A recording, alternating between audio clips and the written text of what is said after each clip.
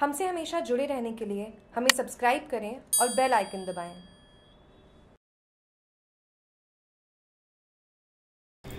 जयनारायण व्यास विश्वविद्यालय छात्र संघ की अधिसूचना जारी होते ही एसएफआई ने गुरुवार को छात्र संघ के अध्यक्ष पद का उम्मीदवार घोषित करते हुए चुनावी रणभेरी बजा दी है स्टूडेंट फेडरेशन ऑफ़ इंडिया जिला कमेटी के अध्यक्ष मनोहर मेघवाल, महासचिव सुभाष महरिया और एसएफआई के प्रदेश उपाध्यक्ष किशन खुडियाल ने बताया कि एसएफआई ने इस बार अध्यक्ष पद पर जेएनवीयू न्यू कैंपस स्थित भाषा विंग में एम ए पूर्वाधृत में अध्ययनरत एसएफआई के कार्यकर्ता दमाराम अध्यक्ष पद के प्रत्याशी होंगे।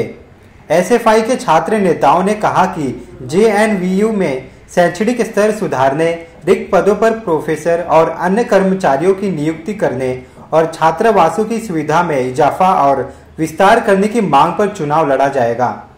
एसएफआई के अध्यक्ष पद के उम्मीदवार दमाराम ने इस मौके पर कहा कि वे कैंपस में शिक्षा एवं सुविधाओं के विस्तार के मुद्दे पर चुनाव लड़ेंगे।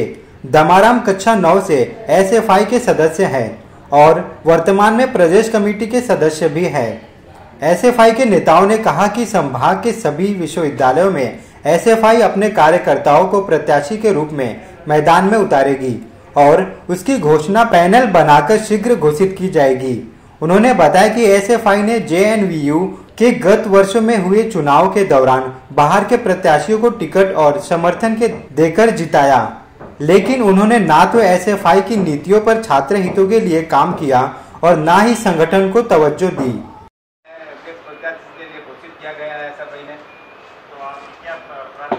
मैं S F I student federation of India मैं सातवीं क्लास का जब स्टूडेंट था, उस समय मैं एस एफ़ आई से जुड़ाव था मेरा। उसके बाद मैं फलोदी तहसील कमेटी में, तहसील महासचिव रहा। उसके बाद मैं जिला कमेटी में आ गया और जिला कमेटी में आने के बाद मैंने विभिन्न आंदोलन लड़े।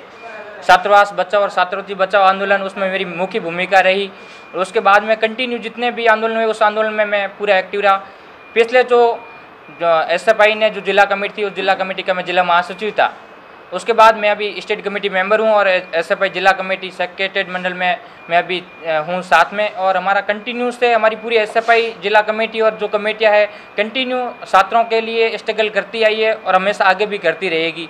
और यूनिवर्सिटी में इस बार एस एफ़ आई ने ये सोच के कि एस एफ़ आई इस बार कार्यकर्ता को चुनाव लड़ाएगी और कार्यकर्ता होने के नाते एस एफ़ आई ने मैंने एस एफ़ आई से मांग की और सबसे पहले मुझे एस एफ़ आई ने टिकट दिया है। तो मैं एस एफ़ आई के साथ और पूरे पूरे जितने भी होगा उनके लिए स्टूडेंट के लिए मैं हेल्प के लिए तत्पर रहूँगा।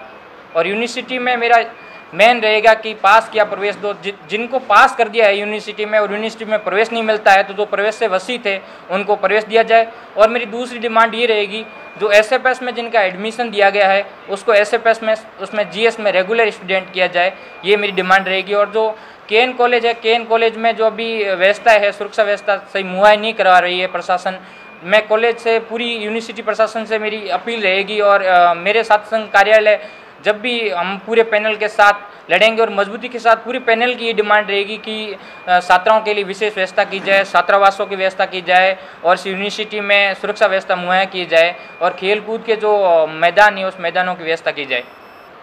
जोधपुर से जागरूक टीवी की रिपोर्ट।